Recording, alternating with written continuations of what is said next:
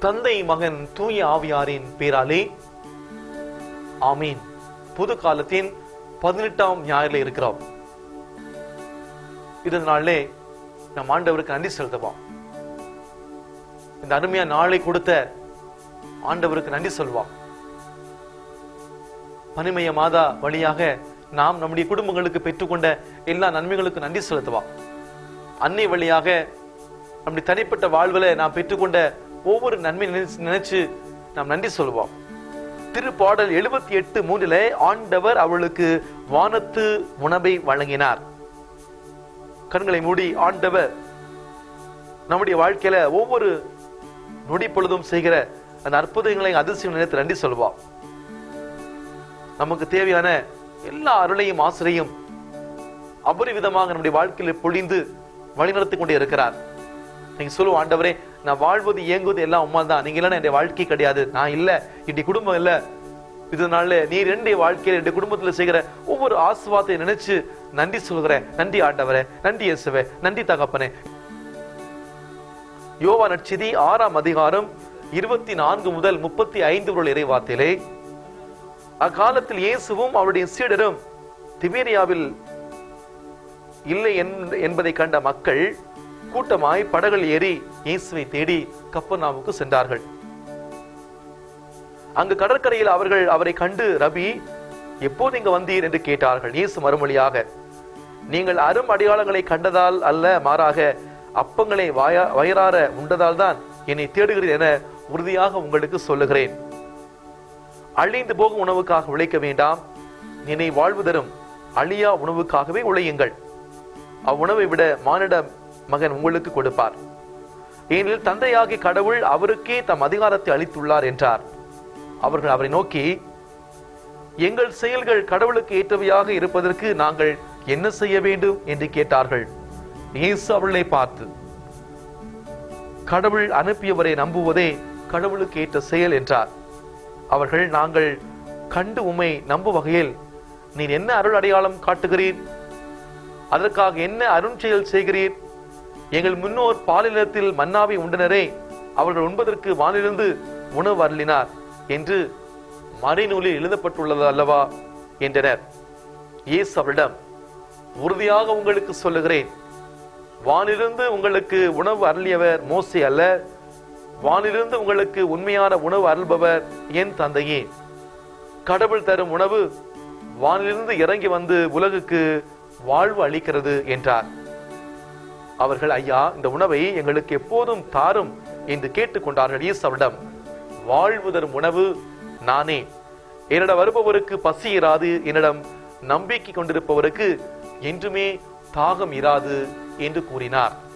அன்புக்குரியவர்களே இந்திய வாசகங்கள் அழிந்து போகும் உணவுக்காக உழைக்க வேண்டாம் அழியாத நிலை வாழ்வு தரும் உணவுக்காகவே உழையுங்கள். அன்புக்குரியவர்களே நாம் வாழ்கிற நம்முடைய வாழ்க்கையிலே பல வகையான பசிகளை நாம் அனுபவிக்கின்றோம். முதல் வகையான பசி பணப்பசி. பணத்திற்காக எதையும் செய்- செய்ய தயாராக இருப்பவர். பணத்திற்காக பிறருடைய பேரை கெடுக்கவும் பிறருடைய உயிரை எடுக்க தயங்க மாட்டார்கள். இவர்களுக்கு பணமே உலகம் பணமே வாழ்வு. பணம் மட்டுமே உலகமா? அடுத்ததாக அறிவு பசி. எல்லாவற்றையும் அறிய வேண்டும் கற்க வேண்டும். நான் பிறரை விட அறிவிலே சிறந்தவனாக திகழ வேண்டும். வகுப்பில் முதல் மதிப்பெண் எடுக்க வேண்டும். கல்லூரியிலே கோல்டு மெடல் வாங்க வேண்டும். அனைவரும் என்னை சான்றோன் என்று புகழ வேண்டும். என்று ஒரு சில ஆசைப்படுகிறார்கள். நம்முடைய வாழ்வு செழிப்படைய அறிவு மட்டும் இருந்தால் போதுமா? மூன்றாவதாக நம் அனைவரிடம் காணப்படுவது அன்பு பசி. அன்புக்காக எல்லாருமே இயங்குகிறோம் பிறந்த குழந்தை முதல் முதியவர் வரை அனைவருமே தன்னை அன்பு செய்ய மாட்டார்களா என்று காத்திருக்கிறார் ஏனென்றால் அன்புதான் மனிதனை விலங்கிலிருந்து பிரிக்கிறது. வாழ்விலே நிறைவு காண முழுமை அடைய அன்பு மட்டும் போதுமா?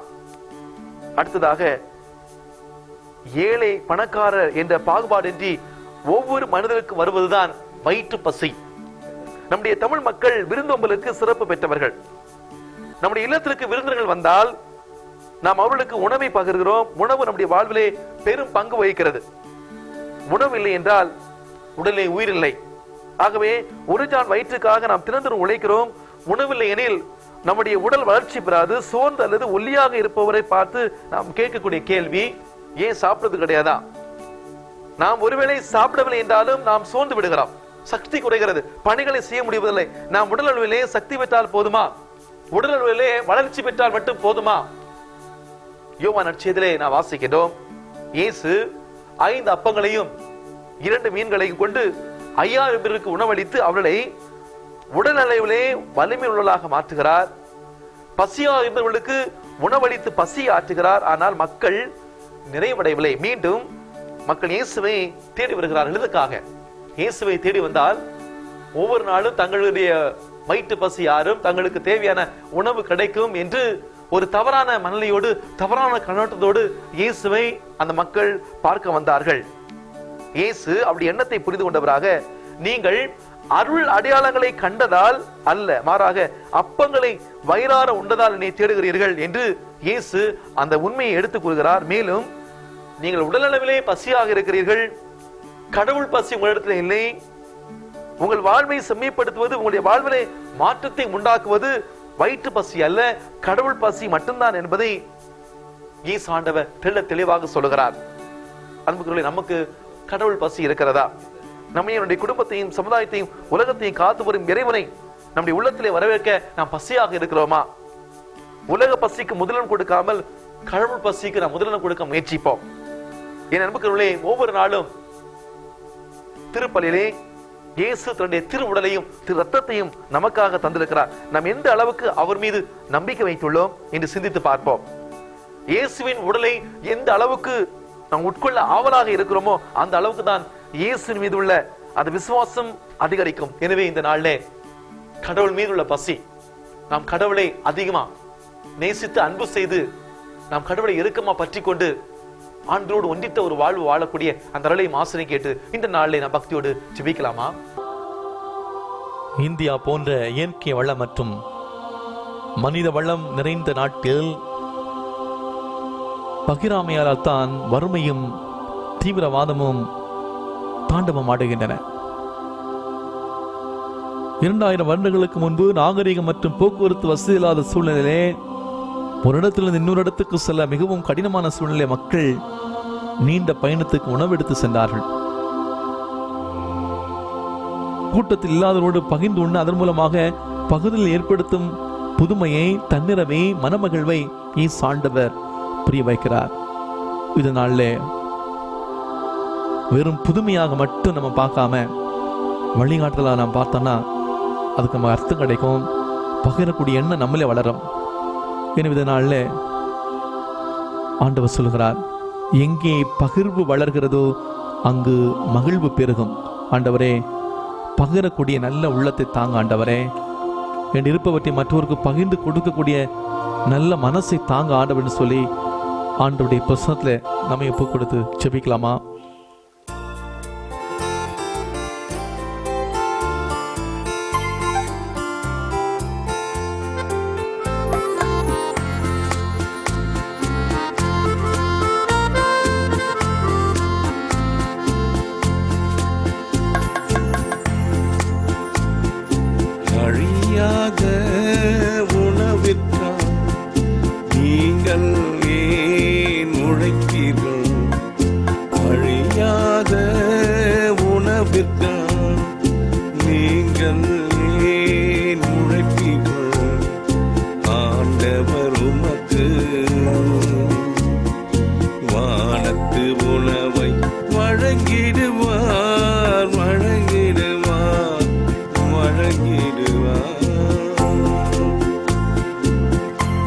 இல்லாத உணவுக்காய் நீங்கள் உழைப்பீர்கள். ஆண்டவர் உமக்கு வானத்து உணவை கொடுத்துடுவார். இதனால அழிந்து உணவுக்காக உழைக்க வேண்டாம். நிலை வாழ்வதரும் அழியா உணவுக்காக உழையுங்கள். அவ்வுணவை மானிட மகன் உங்களுக்கு கொடுப்பார். என்னால் தந்தையாக கடவுள் அவருக்கே தம் அதிகாரத்தை அளித்துள்ளார்.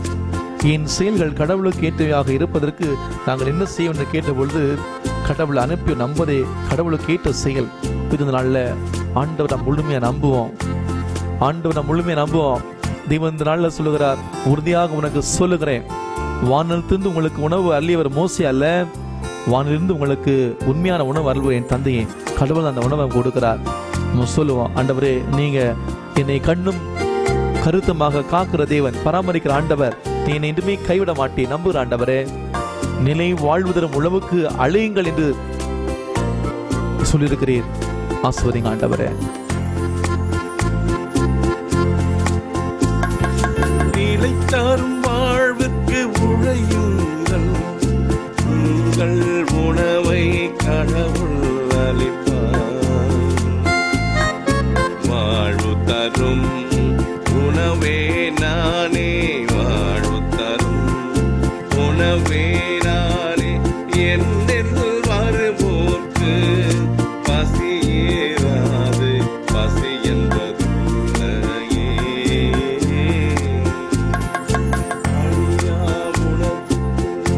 அழியா உணவு காய். நீங்கள் உழைப்பீர்கள் ஆமண்டவரே. நீர் மட்டுமே இன்றுமே மாறாத தேவன்.